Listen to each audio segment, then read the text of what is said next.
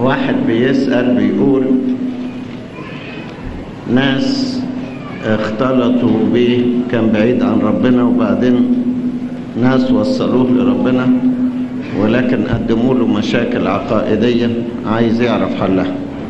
بيقول له النقطة الأولى هم ما يؤمنوش بمعمودية الأطفال وهل تصح معمودية الطفل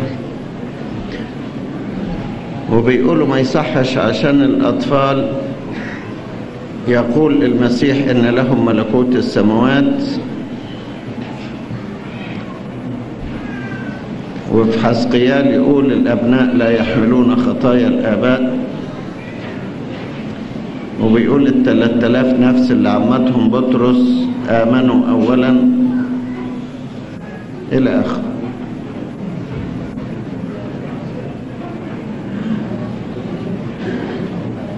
اللي عايز أقوله إن إخواتنا الإنجيليين اللي في مصر يؤمنون بمعمودية الأطفال أيضا. يعني مش كل البروتستانت عقيدة واحدة. في ناس بيؤمنوا بمعمودية الأطفال وناس ما بيعمدوش. حكاية أو واحد تاني جايب سؤال بيقول الآية بتقول من آمن واعتمد خلص في مرقس 16 16 والطفل لسه ما آمنش. في الحقيقة إحنا بنعمد الطفل على إيمان والديه على اعتبار إن والديه يعلموه الإيمان. وأيضا إن كان السيد المسيح بيقول من لا يولد من الماء والروح لا يدخل ملكوت السماوات فلماذا نعطل خلاص الطفل بسبب عدم المعمودية؟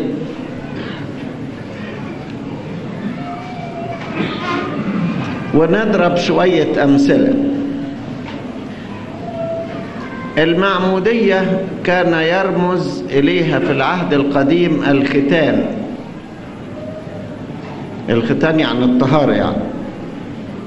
دي ما وكان الشخص اللي بيختتن يعتبر عضو في جماعة وشعب الله. الولد اللي كان بيختتن كان بيختتن الطفل وعمره 8 أيام. أهو عمره 8 أيام وبيختتن ويصبح عضو في شعب الله مع إنه لا يفهم حاجة عن شعب الله وربما ولا عن الله نفسه ولا عن الختان ولا عن وعد الله لإبراهيم ولا حاجة خالص. لكن كان وعد الله بيتم مع إن الطفل لسه ما وصلش إلى مرحلة الإيمان العقلي ولكن بيختتن على ايمان والديه دي نقطة. الخلاص مثلا كان يرمز إليه خروف الفصح يسموه Passover بتاع العبور يعني. ربنا قال إن الأطفال اللي الدم موجود على أبواب بيوتهم يخلصون من الملاك المهلك. طبعا ذبح الخروف وتلطيخ الأبواب بالدم أمور الأطفال لا يعرفون عنها شيئا ولكنهم كانوا يخلصون من هذا الهلاك نتيجة لإيمان والديهم بالدم ورموز الدم. مثل ثالث في عبور البحر الأحمر. عبور البحر الأحمر يرمز إلى الخلاص من عبودية فرعون والاتجاه تحت قيادة الله إلى أرض الموعد. الأطفال اللي عبروا البحر أمهاتهم شالوهم على كتفهم أو آبائهم يعرفوا إيه عن الخلاص ويعرفوا إيه عن عبور البحر ويعرفوا إيه عن وعد الله لموسى ولا حاجة. لكنهم خلصوا بأن آبائهم أو أمهاتهم حملوا. كمان ما فيش آية في الكتاب المقدس تقول إن إحنا ما نعمدش الأطفال. خالص ما فيش آية تقول لا تعمدوا الأطفال. بل على العكس في آيات توحي بكده بمعموديته. يعني مثلا سجان فيليبي. سجان فيليبي قصته موجودة في أعمال 32 16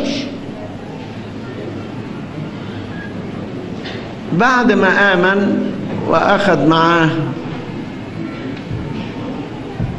الرسول بولس وزميله بيقول اعتمد وكل أهل بيته.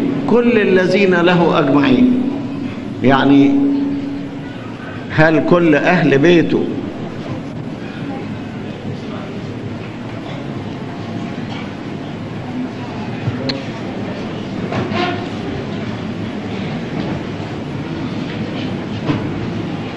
هل كل أهل بيته ما فهمش أطفال؟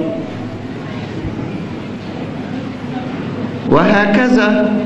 كتير جدا من اللي تعمدوا كان بيتعمدوا هم وكل بيتهم بما فيهم من أطفال. إن كانوا الكبار اللي في يوم البنتكوستي اعتمدوا بعد أن آمنوا كل العائلات بتاعتهم فيما بعد اعتمدت.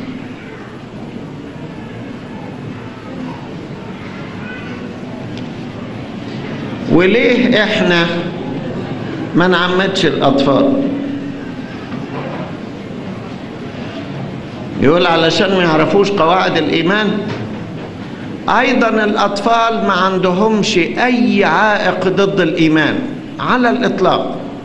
ده ممكن إيمانهم يكون أكتر من الكبار.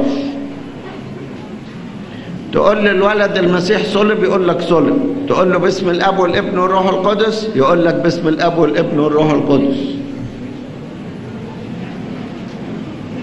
كل قواعد الإيمان بيؤمن بها وإيمان أعمق من الكبار لأن الكبار جايز دخلوا في مرحلة السؤال والشك والطفل عمره ما دخل في السؤال والشك.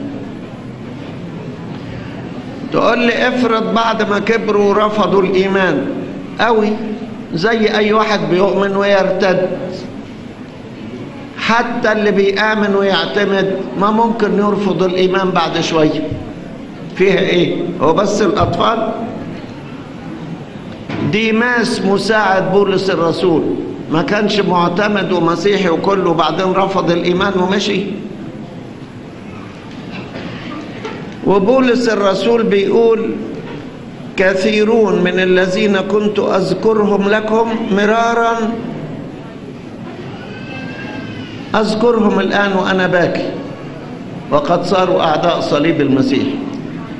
كانوا مؤمنين وكويسين وارتدوا. إحنا ندي الطفل فرصة للحياة مع ربنا وإذا ارتد لما يكبر أو رفض الإيمان زيه زي أي واحد ارتد. كمان الأخوة دول اللي بينادوا بالنعمة عايزين الولد يصل للإيمان بدون نعمة؟ طب حطه جوه الكنيسة وخليه يتمتع بالحياة مع ربنا. ويجي له الإيمان بهذا الطريق. لكن عايز تسيبه بدون أي معونة ويطلع كده يؤمن لوحده؟ فكرة مش مظبوطة. إحنا بنربي الأولاد جوه الكنيسة من صغرهم. عشان كده يبقوا محفوظين جوه الكنيسة. تبعدتوا مع الكنيسة وتقول لهم أنتوا مش مؤمنين؟ إزاي بقى؟ مش مؤمنين إزاي؟ وأنا ملاحظ إن السؤال فيه تناقض. مرة يقول الأطفال كلهم يخلصون لأن المسيح قال عنهم إن لهم ملكوت السماوات.